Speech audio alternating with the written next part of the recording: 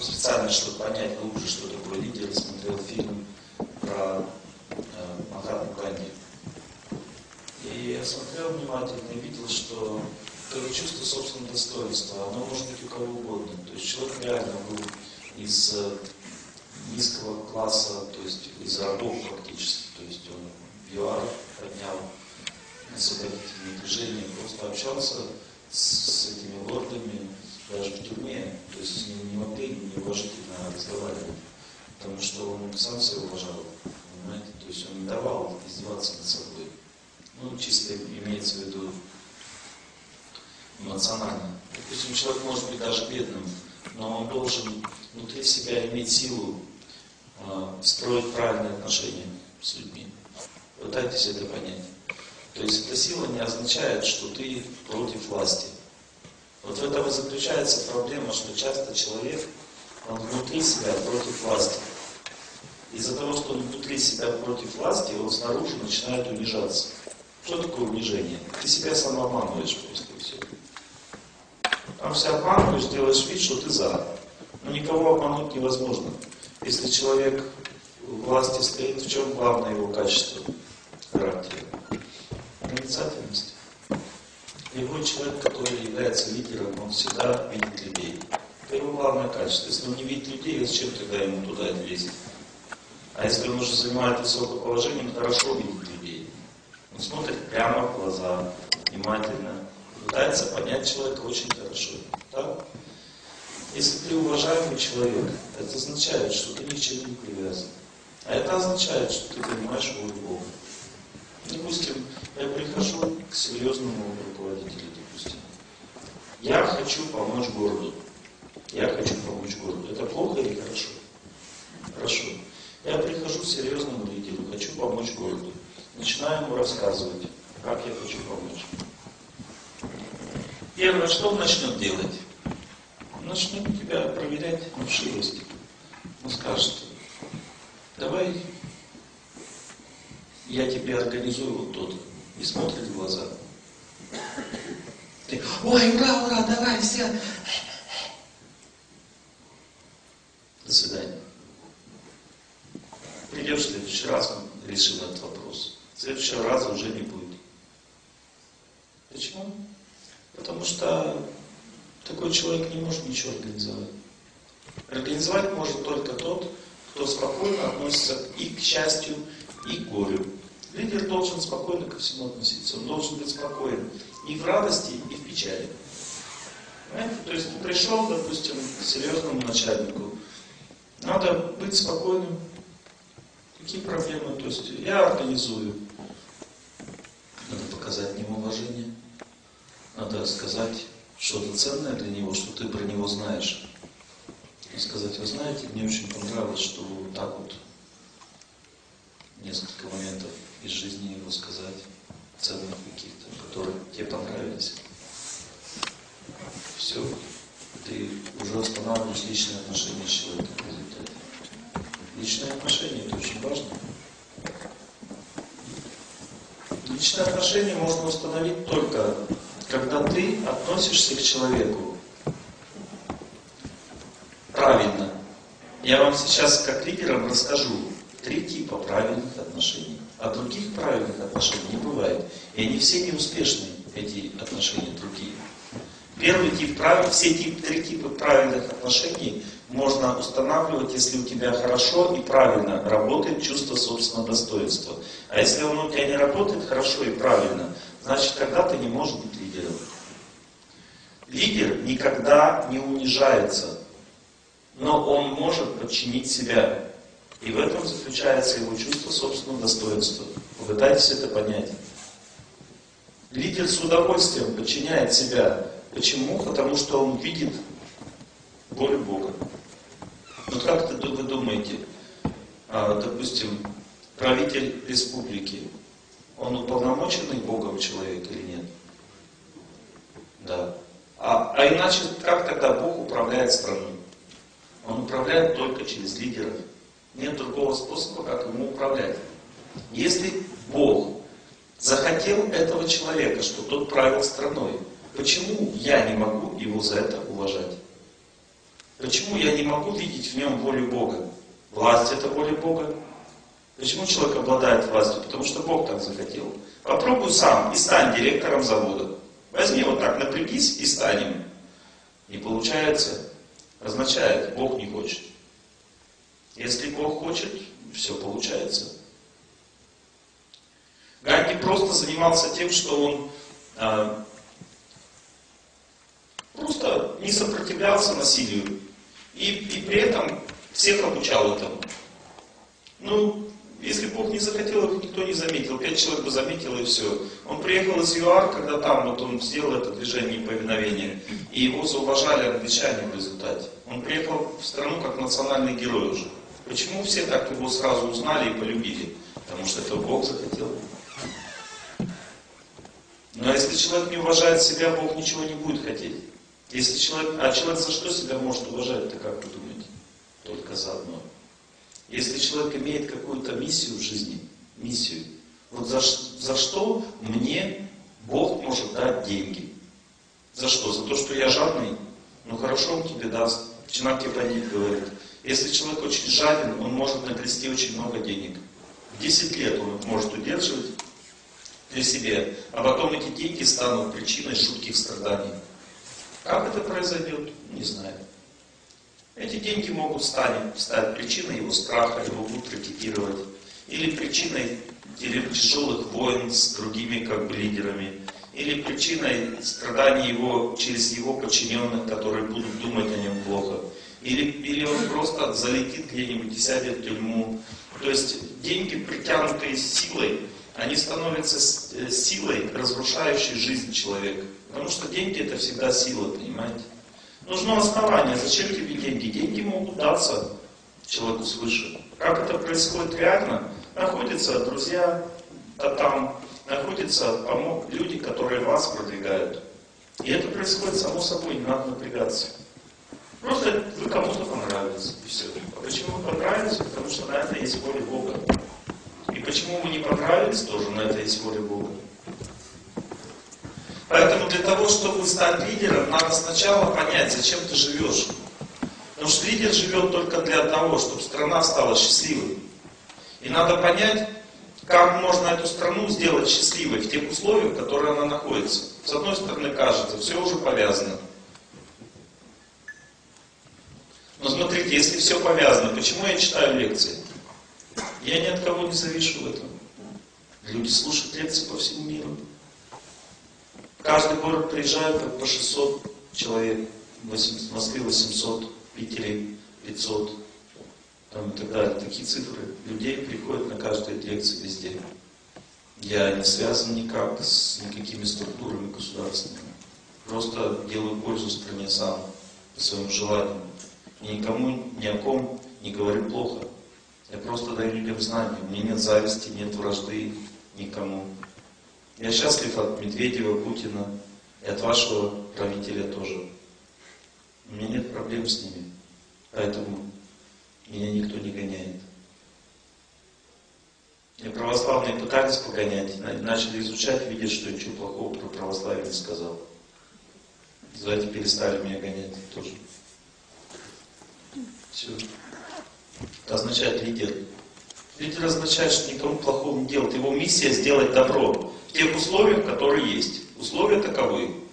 Вот вы живете в такой стране, в ней такие законы. Но примите это все. Какие проблемы? Если вы достойны лучшего, сделайте самое лучшее что-то. Это означает чувство собственного достоинства. Когда человек принимает то, что есть, уважает всех и начинает в этих условиях со всеми сотрудничать, начинает жить, у него есть идея внутри. Это значит, что он уважаемый человек. Человека можно уважать только за идеи чуть-чуть капусты себе накрести побольше. Так эта идея у всех есть, кому она, кого она вызовет уважение. Человека, который перед вами сидит и который богаче вас, у него тоже это желание есть, и оно его не вдохновляет. Вы, допустим, приходите к нему и говорите, я хочу сделать себе побольше капусты, и вам тоже чуть-чуть достанется. Да ему хватает, не волнуйтесь. Вот если вы скажете ему что-то ценное, и он проверит вас, и он увидит, что вы действительно такой человек, вы легко подниметесь. У меня есть один знакомый в Москве. продал машину свою, у меня, у него была собственность машина. Продал машину и начал людям распространять пищу бесплатно. И он это делал не, не тихо там где-то за куточки, а он всем об этом рассказывал, что так надо жить. Он продал машину, начал всем просто готовить пищу, распространять ее. Сейчас он входит в состав правительства Москвы в этом вопросе. То есть он реально как бы имеет государственные дотации на то, чтобы это делать. Человек очень простой, но он вошел в высокие круги из-за того, что он имеет идеи, понимаете, в жизни. Это правильный и хороший способ жить. Таких людей всегда уважают. Вы можете сказать, что правительство гнилое, там, взятки туда-сюда. У меня другой опыт. У меня другой опыт. У меня, ну, сколько я не видел людей, серьезных чиновников, таких хороших, они, у всех есть идея какая-то внутри, они блестят этой идеей, понимаете? Это называется чувство собственного достоинства. Себя нельзя уважать просто за то, что ты деньги копаешь. Конечно, у человека есть карма какая-то прошлая, которая может дать ему власть. Карма может дать власть. Человек может быть сильный от власти, от кармы от этой. Но, ну и что, ну награбил, ну сделал себе домик там, купил. Что, и в чем, в чем смысл твоей-то жизни как руководителя? В чем? Ты как бы сделал себе возможность кушать, спать, сексом заниматься не с одной. Ну хорошо, это все просто животная жизнь. А за что ты себя-то уважать можешь? За что ты лидер? За что себя можешь уважать? Только за то, что ты сделал для страны что-то ценное. Вот и все. Каждый лидер для себя должен взять какую-то ответственность в жизни. Конечно, это не просто. Не просто не в том плане, что надо с кем-то сражаться, кому-то что-то доказывать. Да не надо ни с кем сражаться. Надо просто понять, как пользу приносить в условиях этой страны. Я понял для себя, что не через телевидение, не через радио и даже не через книги, а просто ездя и читая лекции, мне можно принести огромную пользу этой стране. Вроде бы проще выйти на центральное телевидение и начать там. Но глубокий анализ показывает, что там ничего не скажешь. Там находишься в жестких рамках, которых времени и слов. Ты можешь улыбаться там и говорить всякую чушь, и все невозможно ничего сделать. Сразу возникает вопрос, а кто придет тебя слушать? А это уже практический опыт. Ты идешь и не спрашиваешь, придет кто-то или нет. И потом смотришь результат. Почему? Потому что есть идея, понимаете, в сердце. Идея такая, сделать людям пользу в жизни. А не просто так сидеть и кушать, и спать. Лидер означает, кто хочет делать пользу. Мы говорили с вами, есть три типа лидеров. Одни считают, что польза это знание, другие считают организация общественной жизни это руководители. И третьи считают, что нужно, чтобы страна процветала, это бизнесмены. Они все, эти три типа лидеров, не для себя живут, не для себя. Просто разные способы достижения целей. Те, кто хотят знания дать людям, они действуют через знания. Те, кто хотят принести социальную пользу, они находятся в социуме и действуют через отношения. Для лидера самое главное это построить отношения со всеми. Это его главное, и поэтому он ради этого живет. Если есть отношения, есть власть. Если есть власть, есть возможности. Лидер не думает о том, что он должен упахиваться, упахиваться, делать прибыль, тогда будет власть. Власть возникает от того, что он правильно себя ведет. Можно не упахиваться. Александр Меньшиков не упахивался. Просто правильно вел себя с Петром Первым. Он стал лидером всей страны. Лидер это не тот, кто деньги зарабатывает, как осел, перед морковкой бегает и думает, что он станет сильным человеком из-за этого. Лидер это тот, кто может уважать всех. И он сам уважаемый человек. Почему? Потому что он, ему есть себя за что уважать. Потому что у него есть ценная идея в жизни – а не просто идея заработать себе построить домик на берегу Казанки. Красивый резной домик. Я знаю, поэтому говорю.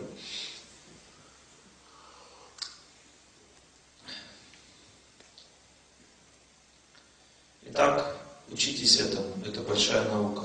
Надо учиться уважать подчиненных. Любовь невозможно привить себе. Для надо молиться. Любовь достигается в молитве. Если ты любишь людей, они тебе верят. Вера не возникает от того, что ты просто можешь купить. Никого не купишь. Это все бред. Если ты купил человека, он будет куплен, пока у тебя есть деньги, потом тебе пнет под зад. Он будет куплен до тех пор, пока он сам не станет сильным. Пока он под тобой, что он делает? Он развивается. Он ест тебя, ест твое знание, ест твои возможности. Развился, пинка под зад, до свидания. Это означает, что ты теряешь самое лучшее. Почему? Потому что ты не понимаешь, кого надо брать и кого надо развивать. Надо самому стать достойным человеком и окружить себя только достойными людьми. У кого есть в окружении из вас хотя бы один такой достойный человек, который ради идеи живет? Поднимите руку. Все? Значит, вы уже лидер. Если нет такого человека, ни одного, значит и вы не лидер. Пока. Но вы можете стать лидером. Надо понять, ради чего жить. Потому что как может человек верить в вас, если у вас вам не за что жить? Он верит, что вы вместе по дому построим. Ну, значит, он просто дурачок и все. Ну, по дому можно и самому построить. Зачем нам за кем-то идти для этого?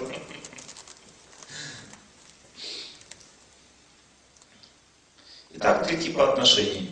Первый тип отношений. Человек может любить старших, уважать их. Это надо развивать себе. Надо понять, за что ты, за что уважать старших. Надо понять, что они поставленники Бога. Их можно уважать за то, что Бог им дал власть, за то, что они способны видеть проницательно человека, за все что угодно. То есть за любое качество, которое есть у старшего, это все проявление энергии Бога. За все это можно старшего уважать. Если старшего не уважать, значит ты не уважаешь себя. Зачем ты к нему пришел? Если ты его не можешь уважать, он не будет с тобой иметь дело, потому что все отношения власти построены только на вере. Если ты можешь верить этому человеку, он будет верить тебе. А если он будет верить тебе, значит он тебя займет. И это значит, что ты получишь сам эту власть. Власть это не то, что ты взял и ухватил. Она передается через кого-то. Если ты не имеешь отношения со старшими, значит власти нет. Теперь, старший подлец. Ну, он, допустим, обманывает, делает глупости. Ну, не обращайте внимания. Какая вам разница? Он старший, у него власть. Если у кого-то лучше власть есть, кто лучше этого человека, найдите этого человека и ему служите. Но если нет другому, другого нет, служите тому, кто есть. И вы увидите, что он будет с вами строить отношения как надо. Почему? Потому что если вы строите с ним отношения как надо, вы прощаете его, вы терпите его проблемы, но при этом не унижаетесь. Кто такой унижен, кто не простил? Вот вы, допустим, вас оскорбили, и вы при этом начали внутри себя его не любить. Значит, вы унижены, вы ему подчиняетесь. Почему? Потому что вам нужны деньги от него, положение в обществе. Все, это же просто ну, вода дерьмо. Надо простить человеку, прийти к нему, и он увидит, что ты продолжаешь его уважать. Все, этого для него будет достаточно. Ничего себе серьезный человек. Означает лидер, сильный человек, лидер сильный человек. У меня есть один знакомый, там, его пригласили на передачу «Барьеру». Ну, то есть он а, духовной практикой человек занимается, он лидер по природе, он очень сильный человек. И он просто, его поносили со всех сторон там, а он просто спокойно отвечал, объяснял, шутил даже. И все жюри, понимаете, хотя как бы он представлял веру, которая мало развита в России, а его противником был сильный православный, который пытался его просто, ну, знаете, с грязью смешать. Все жюри были за, кроме одного, за этого человека молодого. Они сказали, что это настоящий святой, а этот просто лицемер.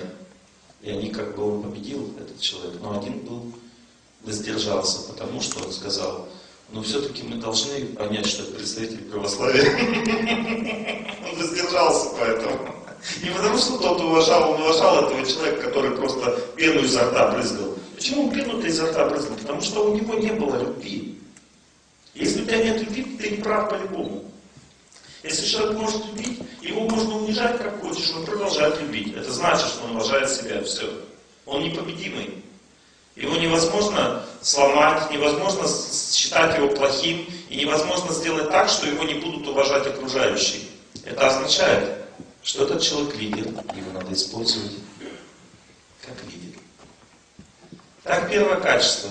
Надо учиться уважать старших. Посмотрите в свое сердце. Вы преданы старшим или нет? Вы видите в них грязь больше или то, что в пользу в них видите? Что вы видите в них больше? Если больше грязи, у вас ничего не получится. Вы не будете развиваться. Никаких вариантов нет. Второе. Надо быть верным друзьям. Нужно учиться понимать, кто друзья, а кто не друзья. И быть верным друзьям. Ради них надо жить. Есть один бизнесмен знакомый в Новосибирске.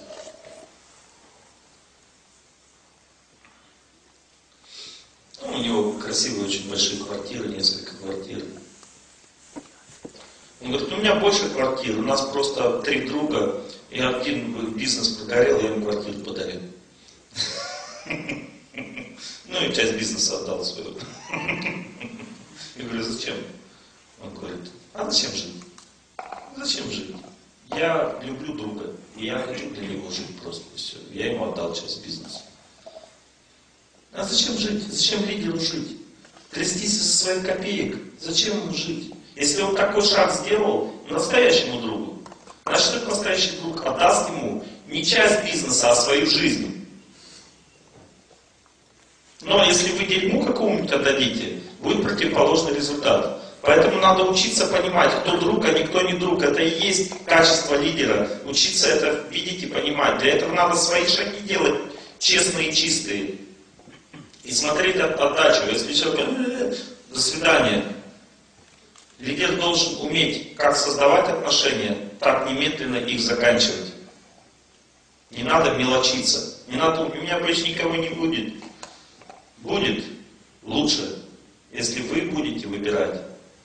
Лидер должен уметь отрекаться от отношений и приближать себе людей. И делает он только по одной причине, что есть настоящие люди, а есть гнилые. И гнилые люди для него это не люди, это просто чужие люди. Он, он пожалуйста, он уважает их, пожалуйста, все, я люблю тебя, но не рядом со мной. Означает лидер. Третий тип отношений – это любовь к младшим. Любовь к младшим не означает «ты салага, пошел вон». Любовь к младшим означает строго, но родные чувства надо испытывать. Родные. Строго, но родные. Попытайтесь это понять. Родные означает, ты любишь человека по-настоящему. И искать надо, любить можно только за хорошее, поэтому лидер умеет видеть хорошее в людях. И человека же вдохновляет. Допустим, пришел человек, он прогулял. Лидер должен его наказать. И он говорит, Петрович, как рыбалка была вчера? Позавчера. Ну, он другому говорит. И тот говорит, хорошо. Ну, сам знаешь, что он пришел к начальнику, его наказывать будут. И тут он с ним просто по-дружески говорит. И потом говорит, да, Петрович, ты прав, ты сидишь, что-то, глаза у тебя страх. Да ты не бойся, ну, подумаешь, ну, подумаешь, зарплату уменьшим на месяц. Это же надо для всех.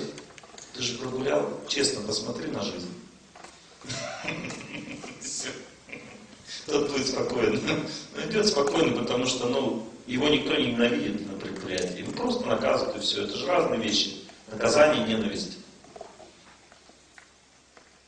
Но потом придет скажет, сам дурак, что делать? Наказали. Сам дурак. Понимаете, у него другое отношение будет к этому наказанию. Любовь основа. Но это три типа отношений, которые лидер должен строить. А есть еще четвертый тип отношений, когда лидер очень твердо стоит вне отношений. Это тоже проявление чувства собственного достоинства. Лидер должен уметь показывать просто своим поведением, что ты от меня ничего не добьешься. Не потому, что я тебя не люблю, а потому, что ты гнилой. Понимаете? Если человек начинает с лидером, все, стена. какое бы положение он ни занимал, каждый человек должен понять, что с лидером невозможно играть в игрушки. Для него честь дороже всего. И если ты нечестно к нему относишься, значит он тебя отстранит, какое бы ты положение ни занимал. И опыт показывает, что люди, которые имеют положение, поставлены Богом, они сами не уйдут, просто так нужны основания. Если тебя отстранили за то, что ты гнилой, это не основание уходить. А если человек все-таки ушел, значит он действительно гнилой и принесет, принес бы вам еще больше проблем. Так и до свидания, и слава Богу. Это значит не от Бога человек, понимаете? Потому что структуру предприятия Бог создает, а не человек. Человек сам не может ни удержать никого, ни создать. Если он для Бога действует, то есть с уважением, с чувством собственного достоинства, в этом случае означает, рано или поздно вокруг него будет такая команда, которая будет за него все делать, ему будет помогать, у него не будет проблем. Есть один человек знакомый.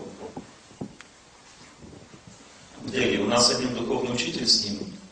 Он очень богатый человек. Как-то 15 лет назад я сидел в святом месте, учеников учил. И как-то так получилось, что мы не рассчитали, лечили людей бесплатно, не, ну, они жертвовали, но мало. И кончились деньги. Я просто говорю, Бог поможет, не волнуйся. Они что-то начали все печалиться, что мы вот тут сидим, даже уехать назад не сможем, у нас нет денег, все, все заныли. Пять человек со мной было. Он пришел ко мне в гости, знаете, он посмотрел просто на нас так. Говорит, а что у тебя все кислые? Я говорю, да ничего, нормально все. Говорит, ты, говорит, э, деньги-то рассчитал? Я говорю, да, все, Бог поможет, что рассчитывать, все хорошо, мы же пользу делаем, мы же не вредим. Он посмотрел на меня, ушел. Он приходит и приносит такую пачку 100 долларовых купюр, ложит и говорит, давай продолжай все делает. Все. Но я сейчас вам не про это говорю, я хочу рассказать про его жизнь. И вот этот человек, у него два брата есть, два брата. Он среди них старший, среди всех. И он очень сильно занялся духовной практикой. И два брата заметили, что он стал очень проницательным человеком. И он собрал их и сказал, я отдаю вам все, вы будете сами вести весь бизнес. Вы будете давать мне денег столько, сколько считаете нужным с этого бизнеса. И большое поместье, там надо все это содержать, то есть реально огромное поместье. Там красота, много слуг ходит. У них несколько заводов на троих. Сказал, я буду духовной практикой заниматься, и вы будете приходить ко мне, когда вы не можете понять, что делать. Я буду молиться Богу и говорить вам, что делать вы будете меня содержать, как считаете нужным. если вы посчитаете, что я не старший для вас, я с вами перестану иметь дело. Все. Что было дальше? Все начало процветать. У них просто бизнес полетел вверх. Потому что они начали вести дела. Люди знают, кто старший, что вот этот человек, они к нему, простые люди, приходили из заводов советоваться, начал духовный практик, как наставник себя вести. Они приходили к нему, спрашивали, что делать, молился, говорил, все сбывалось. То есть вот как они делают, так и получалось все. Все начало процветать. Понимаете? Такая личность. В чем его особенность этого человека? В том, что он понял, что все в руках Бога. Понять это очень сложно. Он понял, для кого жить. И он не стал, не бросил ничего, он не типа, я не буду бизнесом заниматься, он начал заниматься более качественно всем. Он понял, что надо делать. Самый лучший правитель это тот, который ничего не делает. Он кроме делает только то, что он полностью предан Богу, а Бог ему дает таких помощников, которые за него все делают так, что больше никто ничего не сделает. Таким был Махатма Ганди. Он ничего не делал, он не был президентом страны, он не был, э, не занимал никакого поста в правительстве. Он просто был святым, который хотел управлять страной как святой. И что происходило? Все, что происходило в стране, происходило под его словом. Он слово сказал, все происходит. Как англичане ушли из страны? В результате его слов. Он сказал, Одежду англичан не покупаем. Англичане начали вылетать в трубу весь этот бизнес. Соли англичан не покупаем, в море вы, вы, вывариваем. Тютю, солевой бизнес полетел и так далее. Потом англичане поняли, лучше дружить с индусами.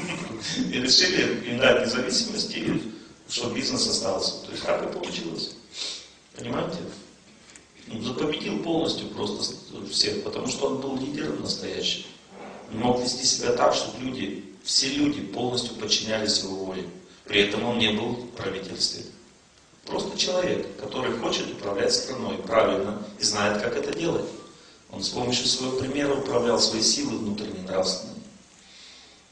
В Бхагавадгите есть такая шлока, что я есть нравственная сила тех, кто хочет победить. Господь говорит. Самая большая сила у человека в жизни, какая есть, это нравственная сила. Нет больше силы выше. Если человек способен иметь эту силу, и люди будут приходить хорошие и отваливаться плохие. Все. То есть тема отношений для лидера самое главное. Он должен научиться понимать, как строить отношения, как внутри себя отношения с самим собой, как строить главное. Если ты унижен по отношению к себе, ты скуп, ты не можешь победить свои проблемы, ты не можешь помочь никому, и никто не вдохновится тобой. Богу нужны только те люди, которые могут улучшить ситуацию, которая царит в обществе, в стране. Улучшение не означает воевать сейчас. Улучшение означает уметь правильно строить отношения с позиции позитивизма со всеми людьми. Если надо взятку дать, ну дайте взятку, какие проблемы. Но делайте это потому, что так надо. Не надо париться по этому поводу. Надо сказать какие-то слова, скажите. Надо присутствовать на пьянке, ну присутствуйте на пьянке. Ну надо выпить, но чуть-чуть хлебните там. Не надо убиваться ради этого. Думать, что все хотят, чтобы ты напился. Ну, показал, что ты за. И все. Лидер должен быть социальным человеком, означает, должны быть жертвы. Я как-то учился один высокопоставленный православный человек. Он построил несколько храмов, он рассказывал, как он строил еще в те как бы, времена социалистические. И говорил, что чтобы строить храм, для этого надо приходить к начальству и с ними выпивать. Они потом дают деньги, и ты строишь храм. Система очень простая. Без этого невозможно. Но, говорит, ты можешь по-разному выпивать. Ты главное покажи участие, участие. И все будут за. Если ты контролируешь себя, люди это тоже оценят. Он не видят, что ты как бы контролируешь себя. Но при этом со всеми. Ты не ты выше, не выше всех стоишь, а ты как бы уважаешь их все равно в любом состоянии. Ты со всеми, ты не отделился. У меня был такой опыт, я, я никогда не пил в своей жизни, но у меня были друзья в 10 классе в институте. Я приходил на вечеринки, я не пил. Но я настраивался таким образом, что они чувствовали, что я не пью. Вообще. Они шутили надо мной, говорят, ну что ты, лимонадчик, там, ну там на меня там. Я говорю, да, брал лимонад, чокался с ними, лимонад. Все уважали, все были счастливы. Почему? Потому что я был не против. Я был за, за все. То есть я со всеми был. Люди меня уважали, принимали в свою компанию. Не было проблем. Потом я понял, что люди даже не будут замечать, ешь ты мясо или не ешь, и ведешь ты какой-то другой образ жизни или не ведешь, если ты сам этого не замечаешь. Если ты сам не акцентируешь себе это, на это внимание, никто не замечает, все нормально относятся. Никто даже не заметит, что ты ел, что ты не ел. Главное, чтобы ты не выпендривался перед всеми этим качеством своим. Лидер не должен выпендриваться, он должен в любом обществе чувствовать родню. Все должны родные для него быть. Как бы человек себя не вел, если ты у власти, мне нужна власть. Потому что лидер не может жить без власти. Он должен человека у власти ценить и уважать, потому что это представитель Бога. А как он будет жить сам? Это его дело. Научитесь так жить. И вы увидите, что вас еще больше будут все уважать. Мне один знакомый попал в тюрьму. Нечаянно сбил человека на машине. Ну, духовной практикой серьезно занимается. И он, интересно, как там было в тюрьме. Начал там просто заниматься духовной практикой открыто при всех. То есть большая камера, там все. И люди сначала там смеялись над ним, он как бы очень уважительно, да, согласен со всем, да, я такой, все, как бы, и продолжал. Потом кто-то раз посоветоваться пришел, он сказал, объяснил по-дружески, с любовью, как ним. Потом раз, следующий, следующий. Он руководство его попросил лекцию прочитать. Собрались уголовники, он прочитал лекцию. И его перевели в другую палату, в этот, его перевели в медчасть, и там как бы свободный режим. Другое питание, другое проживание, все, то есть другая работа, все. То есть так, очень быстро. Ему два срок, четыре года дали, через два месяца ему располовинили, сделали два, и потом сделали год, три амнистии он прошел, и через полгода вышел. Это все классика жанра, как человек должен себя вести. У меня есть еще один популярный лектор сейчас, который сидел в тюрьме и был рэкетером до этого, на самом деле. Он, он был в таких очень серьезных уголовных кругах. Был. Когда духовной практикой занялся, он начал читать лекции тоже уголовникам. Сам поехал, ездил по тюрьмам. И они на него орали там, ты что, тут нам там втуляешь, салага там или что как-то его обзывали. Он говорит, кто салага? Говорит, я на свободе, а вы здесь чухаетесь. Ну просто как, как такой интеллигентный человек лекцию читал, и когда с ним такой разговор вели, он по-ихнему отвечал, все сразу сидели и слушали. То есть ну, нужно общаться по-разному, в зависимости от ситуации уметь. Понимаете? Он завоевал полное положение в этой аудитории. Иначе, то есть это я привожу примеры, как работает чувство собственного достоинства у людей в разных ситуациях. Нет проблем для лидера, в какой ситуации бы он ни находился, он должен уметь себя вести в соответствии с ситуацией. И это не, не, не является чем-то плохим, это нормально. Просто есть очень серьезный аргумент, такие серьезные лидеры, мне многие говорили этот аргумент. Если ты находишься в какой-то среде, значит ты не можешь быть другим. Ты должен быть таким же, как все, иначе ты не будешь у власти.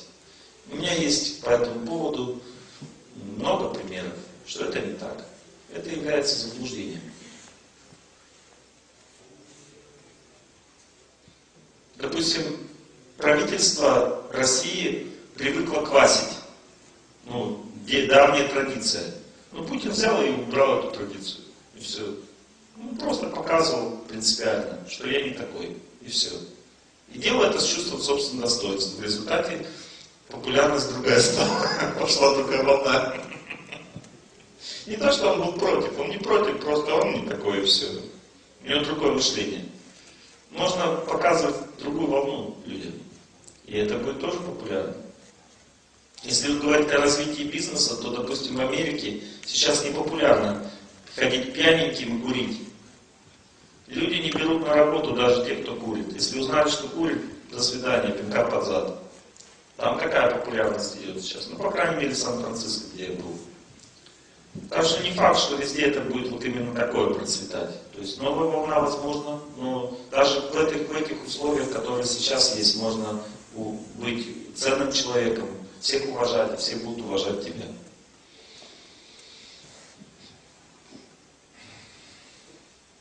Какие-то есть вопросы по этой теме?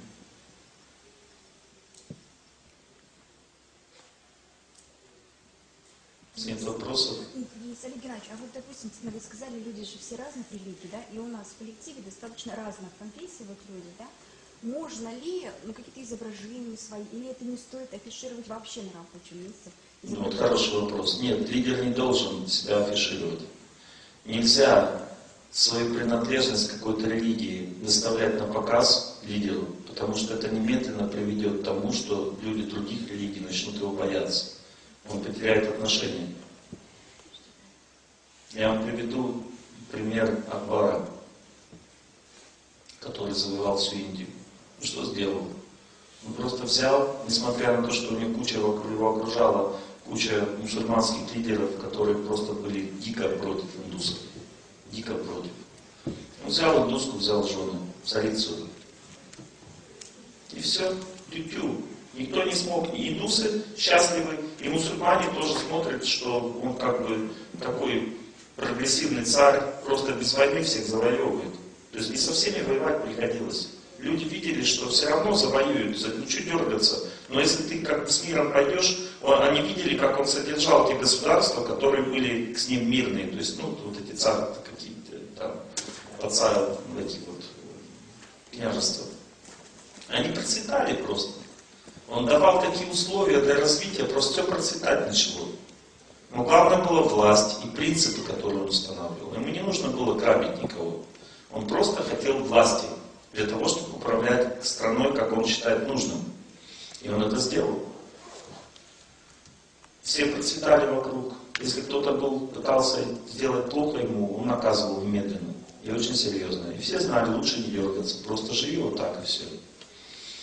Взял в жены царицу индусскую с серьезной верой. Она подчинилась ему постепенно и очень сильно помогала в управлении.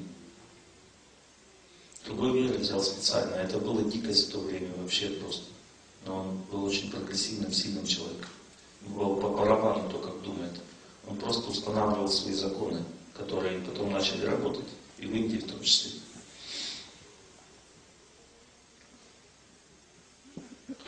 Лидер не должен предаваться уму. Это означает убивать себя. Допустим, у вас есть нерешаемая проблема. Вы начали думать, думать, думать, а так, так, так сделать. И все, вы чувствуете, заснуть даже не можете. Все, вы убиваете свое предприятие. Потому что это не способ решения проблемы. Есть только один способ решения проблемы. Это молитва. Ум не поможет. Надо просто отдаваться святому и брать силы из молитвы.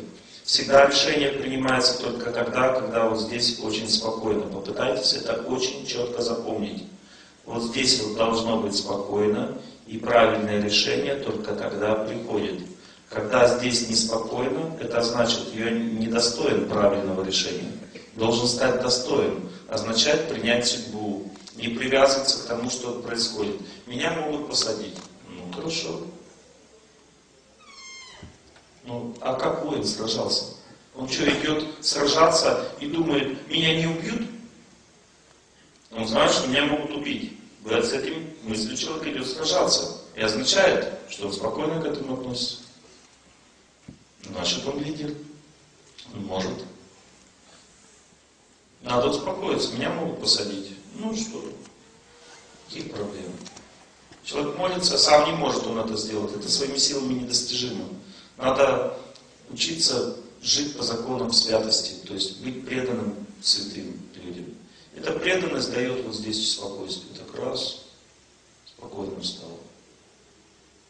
Преданность не означает побриться, там еще что-то делать. Не знаете, внешнее, ничего внешнее не означает. Это означает просто, что ты принимаешь святость как основу своей жизни. Может быть, ты не можешь так жить еще, но ты принимаешь это. Это означает вера. Постепенно все поменяется само. Не надо думать, что я вот не могу, значит я не верю. Не верю. Вера совсем другое. Вера это твой как бы направление жизни. Ты выбираешь такой путь. Путь святости, допустим. Молишься, раз, здесь спокойно стало. Спокойно стало, можешь подумать о своей проблеме в это время. Все встанет четко по полкам. Ты точно будешь знать, что делать. А это значит, что никакой тюрьмы не будет. Сначала человек принимает, а потом он видит, что все спокойно решается.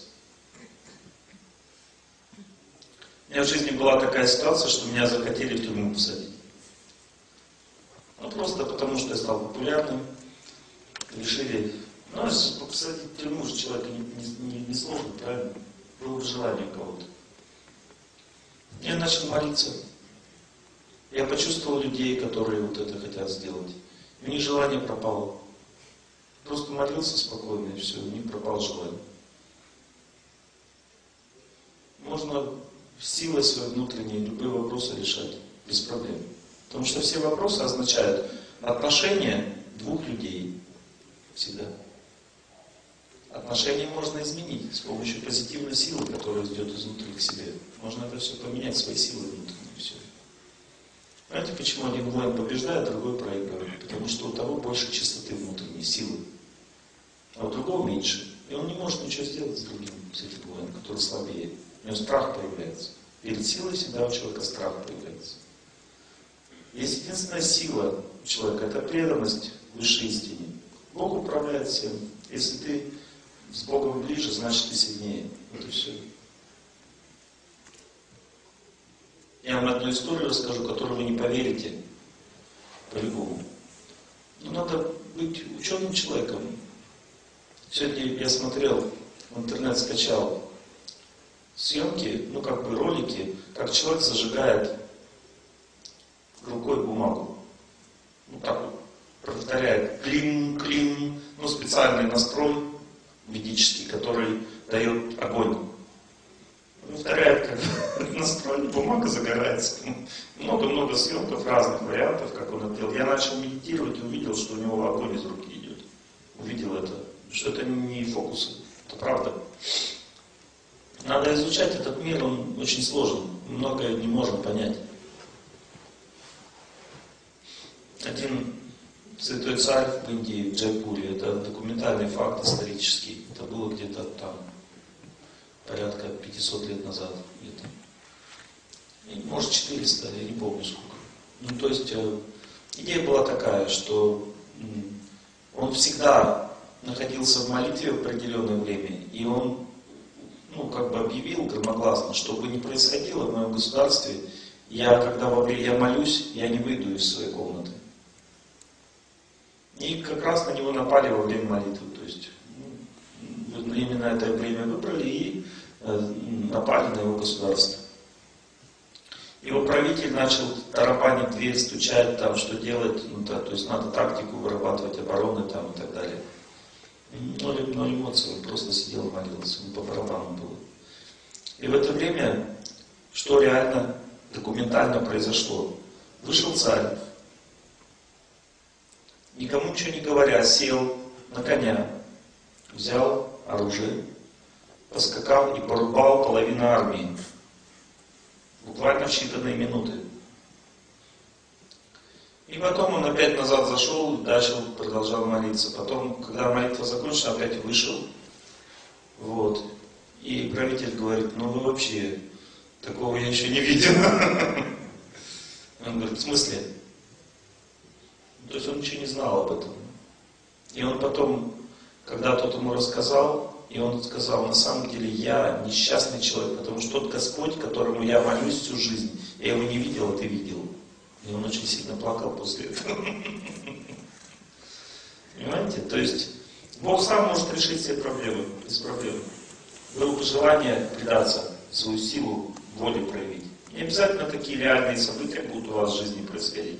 Но вы увидите, как это работает система. Я увидел много раз в своей жизни, что сила человека решает все проблемы. Сила человека, она не своя, у нас нет своей силы. Мы в ней зависимы. В этом мире все зависимы. Каждый под влиянием какой-то силы находится. Если человек выбрал правильную, правильную зависимость, он становится очень сильным. Надо выбрать правильную зависимость. Просто пытайтесь это понять. И если человек находится на умственной платформе, он постоянно думает, у меня ничего не получается, эти меня замучили. Умственная платформа также означает ненависть. Часто руководитель попадает под влияние ненависти. Он думает, блин, как мне с этим работать сотрудником, гад такой, меня достал. Все. Ну, эта ненависть убьет его жизнь, просто убьет. У него нет никаких шансов нормально управлять. Что надо делать? Надо молиться, успокоить свой ум по отношению к этому человеку. Спокойным стать по отношению к нему. Если ты не можешь ни уволить, ни приблизить человека, он просто делает тебе пакости, и ты ничего не можешь с ним сделать. Надо просто успокоиться. И вы увидите, что можно решить проблему с этим человеком спокойно.